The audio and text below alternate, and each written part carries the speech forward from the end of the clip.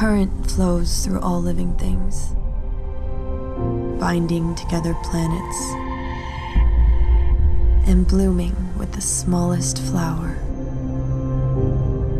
It courses through us, too, bestowing abilities that magnify our strengths and flaws. Some possess a gift that heals, others, a power to destroy. The current is his armor. But it's my curse.